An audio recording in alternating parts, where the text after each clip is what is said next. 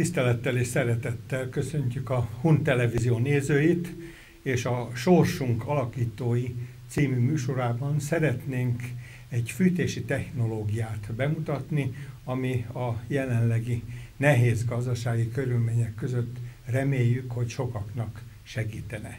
A technológiát a Cinege és Fiai nevű cég forgalmazza, és mellettem ül Sándor Gábor úr, termékmenedzser, aki eh, remélhetőleg minden apró részletről fölvilágosít bennünket, hogy mennyibe kerül, mennyit lehet vele spórolni, és egyáltalán hogy lehet hozzájutni egy ilyen készülékhöz. Magamról csak annyit, hogy eh, dr. Pap Lehel György vagyok, és sebészorvos, úgyhogy ennek megfelelően a téma nem igazán alapos ismerője, de mint fogyasztó, mint egyszerű ember, aki ugyancsak az anyagi nehézségek szorításában él, úgy hiszem, hogy át tudom érezni, és megfelelő kérdésekkel segíteni tudom ezt a témát.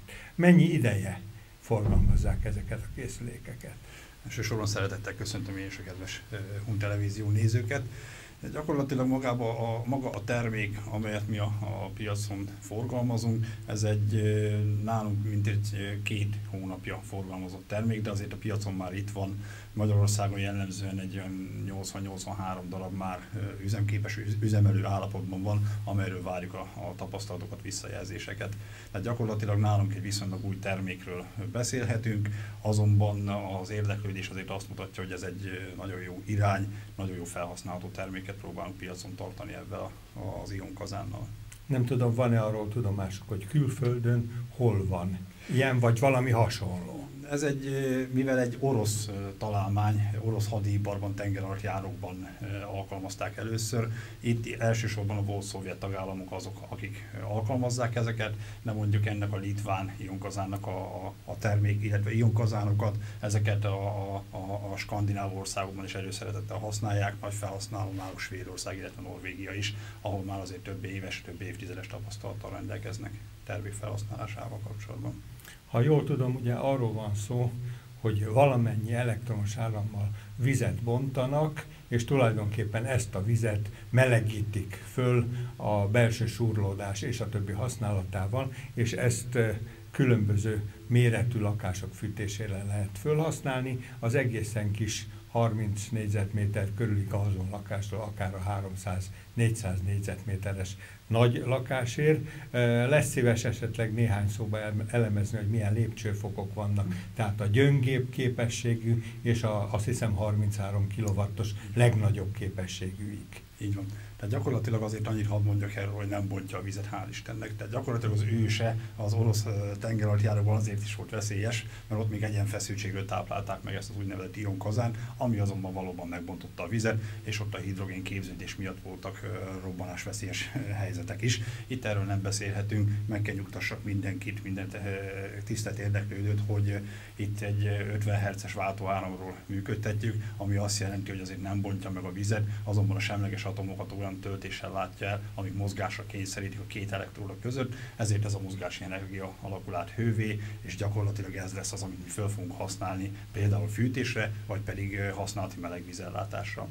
A kazánokról annyit hadd mondjak el, hogy a, a legkisebb teljesítményű kazánunk az 3 kW-os, ahogyan is említette, a legnagyobb pedig egy 33 kW-os. Ez gyakorlatilag úgy néz ki, hogy egy kis garzon lakásban egy 3 kW-os kazán az elegendő lehet. Itt most egy olyan 40-45 négyzetméterre gondoljunk, 33 kW-os kazánnal pedig akár egy 400 négyzetméteres házat is ki lehet fűteni. Ez azonban nem azt jelenti, hogy itt vége is van a történetnek. Azért ebből a 33 ö, 33 kW-os kazánból, hogyha az ember egymás mellé tesz kettőt, hármat, akkor azonnal belátható, hogy akár 1000-1200 négyzetmétert is be lehet vele fűteni, és gyakorlatilag így bővíthető a rendszer, ezért nem nagyon korlátoznám fölülről a teljesítő képességét. Mindjárt fölmerül az emberbe az árkérdés. Uh-huh. Ugye, hogy a legkisebbnek mennyi az ára, úgy körülbelül, és a legnagyobbnak mennyi az ára. A 3 kW-os kazán az 87 ezer forintba kerül bruttóban, a legnagyobb, a 33 kW-os pedig 247 ezer forintba kerül szintén bruttóban. Ha jól tudom, a beépítési költségek azok viszonylag kicsik. Tehát egy meglévő radiátoros fűtőrendszerbe például nagyon könnyen becsatlakoztatható. Igen, igen, jellemzően akár egy radiátos rendszerben, akár padlófűtésben is, tehát kiépített központi fűtésrendszerben nagyon jól installálhatóak, és ezért van nagyon nagy szerepe akár mondjuk egy távhőszolgáltatásról leválni kívánó társasházak esetében is, egy végtelen egyszerű, kompakt kis készüléknek a beépítésére, és azért mellé kell tennünk azt, hogy elektromos árammal működik, amelyből azonnal megérnek sokan, hogy ez drága üzemeltetési költségeit tekintve, viszont azért itt, hogyha az ember papírra fekteti ezeket a dolgokat, akkor látjuk azt, hogy azért mennyire célszerű ezt használni. Ha mellé tesszük mondjuk azt, hogy egy kis garzonnál amikor 40-45 négyzetméterről beszélünk, 3 kW-os kazán 87 ezer forintba kerül. Mellé kell tennünk azt, hogy nem kell gázkémét mellé tenni, nem kell szellőzőt oda tenni, nem kell félnünk a szénmonoxid mérgezéstől akár, ami, ami azért jellemzően most idén téren is több médiában is vezető hír is volt. Tehát gyakorlatilag a beruházási költségei annyira kedvezőek, hogy ha, ha mellé tesszük azt, hogy esetleg nem puffer tartályról tudjuk üzemeltetni, akkor mondjuk egy, egy mai modern turbókazán vagy kondenzációs kazánnál valamivel többet fogyaszt akkor is megéri ezt kiépíteni, mert a karbantartási költsége és a beüzemelés költségei azok viszonylag alacsonyak. Ha már a karbantartásnál tartunk, akkor milyen meghibásodási lehetőség van, illetőleg ennek a helyrehozatala mennyibe kerül? Ez, ez úgy néz ki, hogy maga az ion kazán az két részből áll. És ez, ez, a, ez az egyik legnagyszerűbb tulajdonsága neki. Azt szoktam erre mondani, félig vicces, hogy az különbözteti meg a fajéktől, hogy van benne kettő darab elektróda, és gyakorlatilag erre az elektródára mondja a gyártócég azt, hogy 8-10 éves működési garanciája van, ami azt jelenti, hogy mondjuk ezt a, a, az a két elektródát, ha cserélnünk kell, annak jelen pillanatban költsége 15 ezer forintnál megáll, és gyakorlatilag 8-10 évenként 15 ezer forintot költeni a fűtési rendszerünkre, az azért egy nagyon jó költség és a ma szokásos gázkazánokkal, hogyha összehasonlítjuk bekerülés szempontjából, akkor hogy áll a helyzet? Hozzáteszem, hogy nyilván az előbb elmondottak azok nagyon emellett szólnak, hiszen ebbe úgy szóval nincs mozgó alkatrész, vagy nincs, alig, alig van alkatrész benne, ami meghibásodhatna. A gázkazánokkal már nem egészen ez a helyzet. Nézd, mivel mi nem forgalmazunk gázkazánokat és e, egyéb elektrós fűtésen kívüli fűtési rendszereket, ezért én csak azokat a tapasztalatokat tudom most itt megosztani a kedves tévénézőkkel is, amiket mondjuk legutóbb a, a Konstruma kiállításon tapasztaltunk, amikor kiállítottuk ezt a kazánunkat, és rengeteg érdeklődő jött oda a saját tapasztalatát fölvázolva. Ezek közül például egyet akkor hadd e, említsek meg ezek közül. Volt egy, e, volt egy olyan partnerünk, aki azóta már megrendelte a kazán, Ion kazánját, aki azt mondta, hogy egy hat éves kondenzációs kazánt kell neki lecserélni, és azt javasolták neki az épületgépészeti szakáruházban, hogy most már ne a kondenzációs kazánt tegye föl, hanem tegyen föl egy modern, egy turbós kazánt, amelynek lényegesen kedvezőbbek a üzemeltetési költségei. Most azért egy ebből a turbós kazánból a megfelelő méretűt kiválasztották, neki az 500 ezer forintba került, amikor még ő ezt erre kért egy ajánlatot egy kivitelezőtől, ő azért még elmondta neki, hogy ki kell cserélni hozzá a kéményt is, mert az már nem alkalmas a régi 6 éves kémény arra, hogy fogadja ezt a turbókazán. Ennek a kéménynek az ára 360 ezer forint volt. Tehát ha kettőt egymás mellé tesszük, gyakorlatilag egyéb rárakodó költségek nélkül, tehát pusztán az ára ennek a két készüléknek 860 ezer forint volt. Igen, és olyan jellegű visszajelzésük van-e? Tudom, hogy nem régóta van forgalomban, ugye két hónapja, hogy mi várható, tehát egy mondjuk 100 négyzetméteres lakásnak, hogyha 50 ezer forintos volt a havi költ, fűtési költsége gázban gondolkodva, akkor ennél hasonló költségekre lehet számítani, vagy olcsóbb. Mert ugye az egy dolog, hogy egyszer, amikor megveszem, akkor hadd ne számoljam ki, egy negyedébe, egy ötödébe kerül, mint ez a bizonyos turbókazán. A másik pedig az, hogy viszont az éves üzemeltetése során van-e, vagy ha igen, akkor mekkora megtakarítás van. Ugye ez egyébként az áramköltség ha jól értem. Így van, így van. Tehát ugye ez egy direkt elektromos fűtés, ami azt jelenti, hogy árammal kell megtáplálnunk ezt a kazánunkat, és úgy fogja megtermelni a szükséges meleget, illetve meleg vizet. Na most, ha össze kellene hasonlítanunk, én azért csodákat nem tudok ígérni. Tehát gyakorlatilag, hogyha van arra lehetőség, hogy mondjuk egy puffertartályt használjunk amelyben lévő szükséges mennyiségű vizet felmelegítjük, és ebből vesszük ki a fűtéshez szükséges melegvizet, akkor azt mondom önnek, mivel ezt mondjuk a völgyidőszaki áramellátásról leállítani nevén éjszakai áramról meg tudjuk táplálni, akkor ez gyakorlatilag most, mostani árakat tekintve pariba van a kondenzációs kazának üzemeltetési költségeivel és azért én nem mennék el amellett, hogy mondjuk akár lehet egy negyede is a bekerülési költség egy modern kazánéhoz képest, hogy azért a karbatartási költségek, amit rárakódnak, a beruházási költségek, azért ez hosszú távon azt mondom önnek még, hogyha nem tudjuk is éjszakai áramról megtáplálni, hanem nappali áramról kell megtápláljuk, akkor is azt mondom, hogy az összköltségét tekintve mondjuk egy tíz éves idő intervallumban biztos, hogy kedvezőbbek lesznek.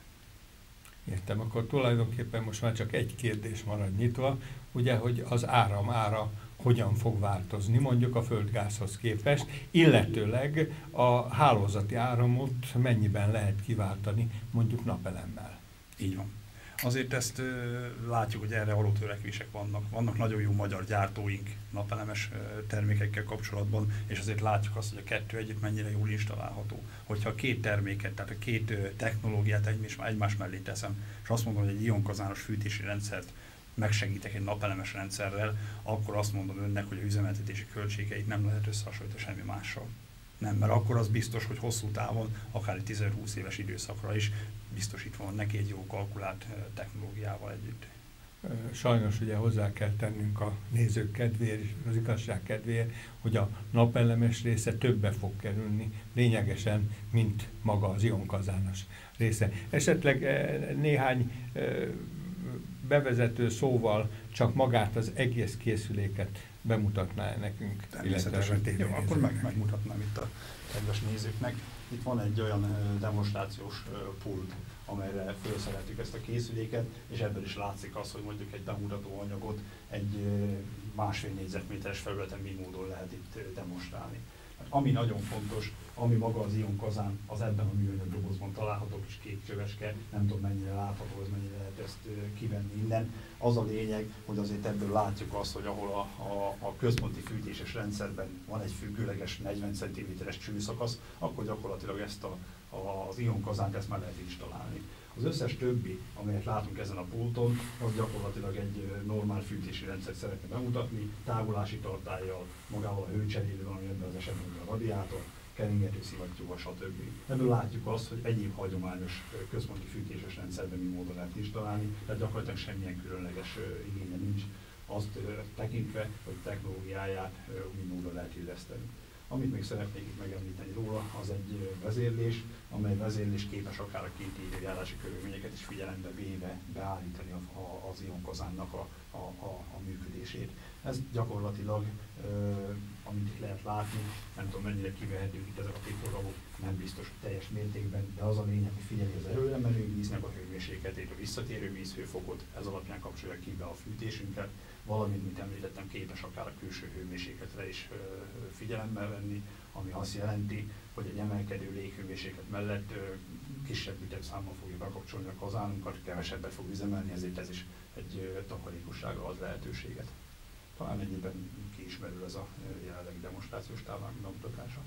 És azt hiszem, ugye, és erősítsen meg, ha így van, hogy tulajdonképpen a lelke az a 40 centis cső, ez gyakorlatilag e, egy kis túlzással annyit jelent, hogy a, a, a fűtőrendszerből 40 centit ki kell vágni, ezt kell helyébe tenni, megtáplálni, és attól kezdve működik. Gyakorlatilag ugye, igen, tehát így, így ez beépíthető. Én nem tudom, hogy a Hun TV-be mennyire lehet reklámozni, és mi a reklám helye, de esetleg még annyit, hogy a Cinege és Fiai Kft. Igen. az, aki forgalmazza, Jászberényben, a Pesti utca 36 alatt, illetőleg hát föltételezem, hogy a Hun TV-nél is érdeklődhetnek, és a kapott névjegyek alapján fölvilágosítást kapnak, hogy hogyan lehet ezt elérni. Nagyon szépen köszönöm, hogy itt volt, hogy segített bemutatni ezt a készüléket, és hát én remélem, hogy a nézőinknek a pénztárcájának tudunk egy kis segítséget adni, hogyha rászorulnak, hogy a rendszert újítani kell, netán a kazánt cserélni, és a többi, hogy hogyan lehet egy legalább olyan gazdaságosan működő és lényegesen olcsóbb megoldást, ezt a bizonyos ionkazánt alkalmazni. Köszönöm szépen! Köszönöm szépen a lehetőséget!